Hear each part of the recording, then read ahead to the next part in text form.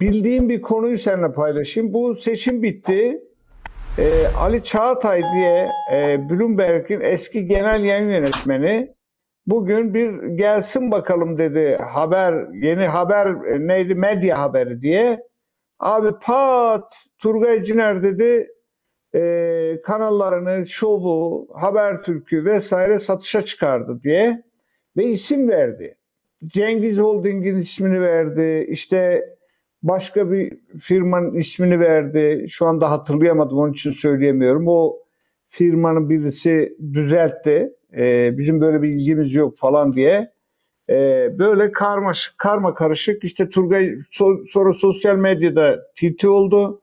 Habertürk e, televizyonu e, açıklama yaptı. Böyle bir haber yok, böyle bir şey yok kardeşim. Ama hala Turgay Ciner, Kenan Tekdağ kaçıyor teraneleri devam ediyor. Enteresan bunu sordum bugün.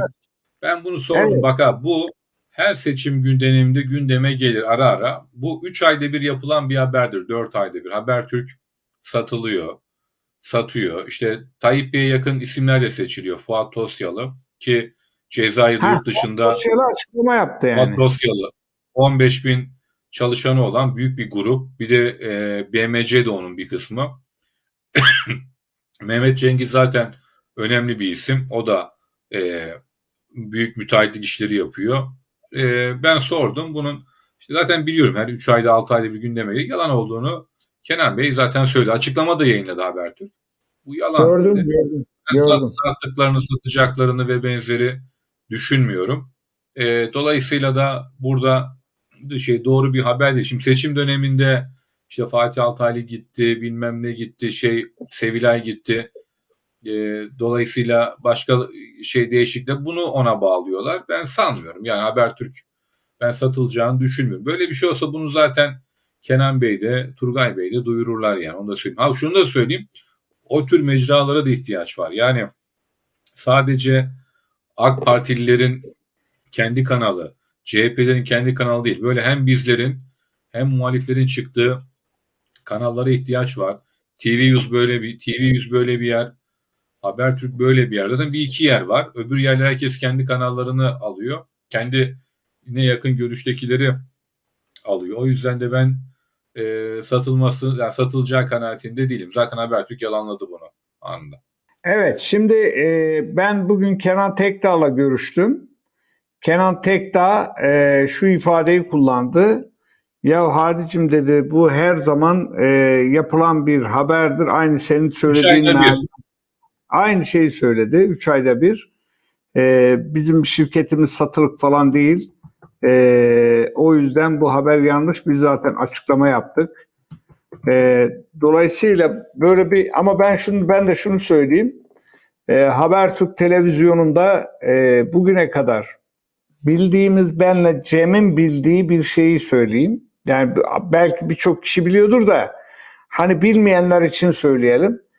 E, Habertürk'te AK Parti e, Mahir Ünal adını da söyleyeyim. Oraya bir yasak getirmişti. AK Partililer buraya çıkmasın.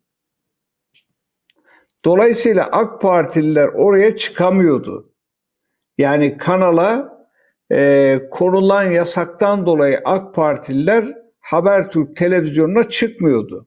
Ki ben Mahir Ünal'la görüştüm. Bunu böyle yapmanız çok doğru değil. Ya işte Hadicim dedi ne alaka falan filan ama şimdi seçim e, sürecinde ben e, şu kadarını söyleyeyim. En iyi kanallardan birisi oldu. Niye? Abi bir bakan gidiyor bir bakan geliyor. Bir bakan gidiyor bir bakan geliyor. Bakanlar orada boy gösterdi Habertürk'te. Aynı tamam şekilde mı? muhalifler de. Belediye Tabii, Başkanı Ekrem Bey, bravo. Mansur Bey, Kemal Bey. İşte bu da Meral Akşener, Ahmet Davutoğlu, Ali Babacan. Yani aslında Türkiye'de yapılması gereken gazeteciliği şu anda yani hani birileri yandaş diyor, birileri kaçtı diyor, birileri bilmem ne diyor. Habertürk televizyonu bu işi bu seçimde bana göre çok layıkıyla yaptı. Ha Cumhurbaşkanı Erdoğan mesela oraya çıkmadı. Çıktım bilmiyorum. Ben atladım mı bilmiyorum. Ha yani orada bir rezerv var.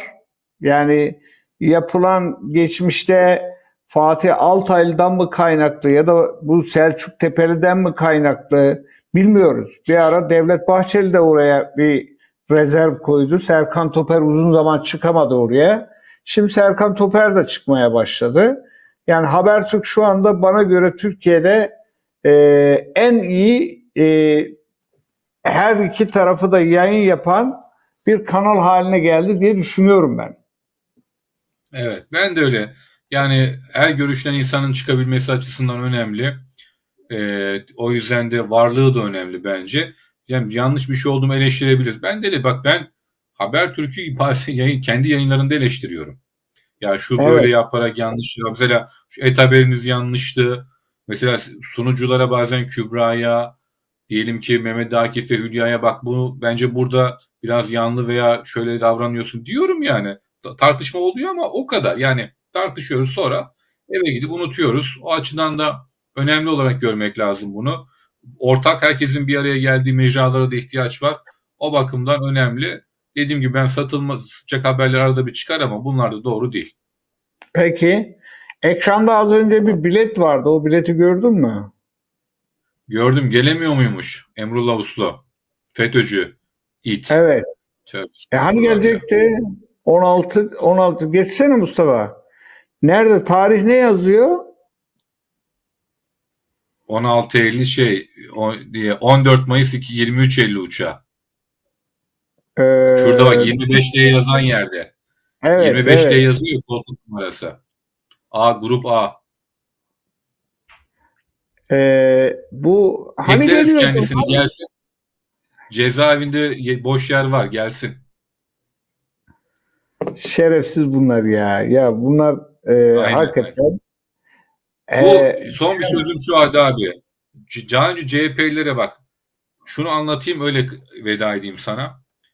Şimdi ben CHP'li bazı arkadaşlara diyorum ki WhatsApp grupta bak mesela videolar dolaşıyor, dolaşıyor ya hani YouTube'da filan çok izlenen bazı videolar var. Hepsi FETÖ'cü. Almanya'da yaşıyor Amerika'da. Bak diyorum bu adam video paylaşıyorlar. Bazen görüyorum Instagram'da, WhatsApp'ta, Twitter'da. Arkadaş diyorum bak videoyu paylaştığın adam FETÖ'cü. Daha önce şu şu gazetelerde çalışmış. Zaman, Bugün, Kanal Türk ya da e, işte atıyorum e, Nokta Dergisi. Bunlar FETÖ'cü. İşte bu Almanya'da yaşıyor, bu burada. Aranıyorlar. İşte ya bunu paylaş. E ben beni ne ilgilen? Ben bilmiyorum. Ben dediğine bakıyorum. Ya adam FETÖ'cü. Senin senin hayatına da kastetti. Sana da kumpas kurdu. İtibar etmeyin diyorum. Ya olsun. Şimdi Erdoğan'a vuruyor ya. Veya AK Partiliye, MHP'liye. O kardeşim bu adam yarın bir gün önce AK Parti'ye MHP'yi vurur. Bir sonuç elde ettiği zaman sana da vurur. Çünkü seni de sevmiyor bu herif. Yani efendim işte o yüzden bu CHP'nin zihninin bulanıklaşmasında CHP'lilerin bu FETÖ'cülerin büyük katkısı var. Olumsuz anlamda. Bu zihinlerine o hani çünkü 15 Temmuz kurgudur, tiyatrodur önce FETÖ'cüler söyledi. Sonradan Kemal Bey aldı. Başkaları da öyle. O yüzden de ne olur bu FETÖ'cülere de itibar etmesinler. Kimin kim olduğuna baksınlar. Yoksa bak ne oldu bir seçimde ya bunların algıları sökmez bu millete, bu topluma. Hele hele bu devlete hiç sökmez. İşte sonuçları da hep beraber gördüler. Dediğim gibi bu adamların dediklerine itibar etmemek lazım. Şeydi abi bu İstanbul sonuçlarını veriyorsun. Aslında onu bir getirirsen Mustafa İstanbul ilçeleri de önemli bence. Onu bir görelim. Ben de değerlendireyim. Demin Bahçeli Evleri, Başakşehir'i, Bakırköy'ü falan gördüm. Onu getirebiliyor musun Mustafa? Getirirsin birazdan. Yani İstanbul'da da aslında CHP'nin nerelerde üstünlük sağladığı, farkı kapat 42-57 Kemal Bey önde. Bağcılar 59-40 çok büyük fark yok. Bahçelievler 50-49 kafa kafaya. Başakşehir 54-45, Bayrampaşa 52-47, Beşiktaş 17 50 82. Öyle fark var. Aşağı gelebiliyor muyuz biraz? Diğer ilçeleri de görelim.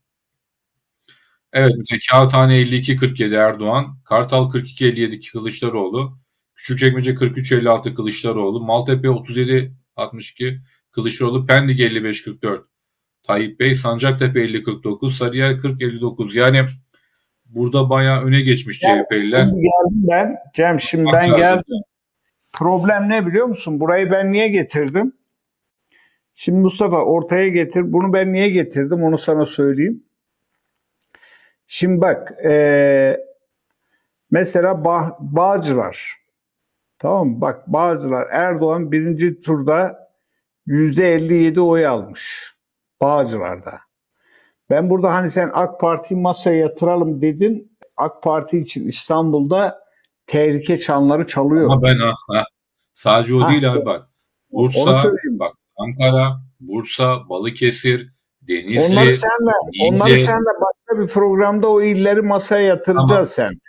Ama şimdi önce şuradan bakalım. Adaları zaten CHP kazanıyordu. CHP %74 oy almış. Abi Arnavutköy'de birinci turda Tayyip Erdoğan %61 almış. Bak başarılı olan ilçeleri söylüyoruz. %61 oy almış. İkinci turda %63 almış. Ataşehir'de birinci turda %40 almış. AK Parti teşkilatı, ilçe teşkilatı burada çok iyi çalışmış. Bir oy daha arttırmış.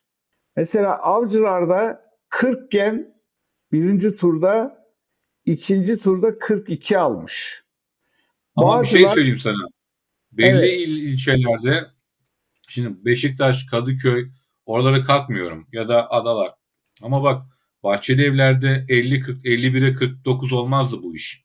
Mesela Ben onu anlatıyorum abi. Bak e, 55 Ba- 56'ya 44 olurdu.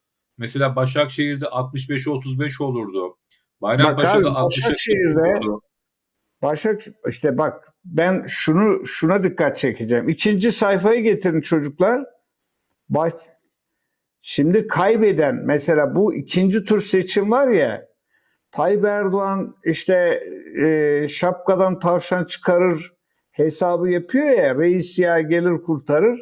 Abi bazı teşkilatlar yan gelip yatmış. Yani bak şimdi ikinci sayfayı getirin çocuklar. Bazı bazı teşkilatlar yatmış abi bak. Atıyorum mesela Kağıthane'de Kağıthane ikinci turda arttırmış. Güngören Ama iki, iki tura iki puan arttırmış. Gazi Osman Paşa el bir puan arttırmış. Birinci turda yüksekken. Bazı teşkilatlar da düşmüş. Kazanamamış orada. Toplamda Şimdi- baktığımızda e, Kılıçdaroğlu İstanbul'da 51 abi. Ya işte ben de diyorum ki bu evet buna iyice dikkatle çalışılması lazım. Bir de fark açıyor. Yani Sarıyer'de şimdi buna HDP oyu da var diyebilirsin. Tamam var doğru. Ama bunu da düşüneceksin. AK Parti 2018'de Ankara'da 51, 52, İstanbul'da 51 almıştı. Şimdi bunu kaybetti. O bakımdan da buralara acilen ekonomi, Suriyeliler, ben ekonomi ve Suriyeliler olduğu kanaatindeyim bu meselelerin. İvedilikle buralarda bu çözümlerin bulunması lazım. Yoksa dediğin gibi 2024 seçimleri ve sonraki seçimlerde çok risk olacak gibi görünüyor Hadi abi.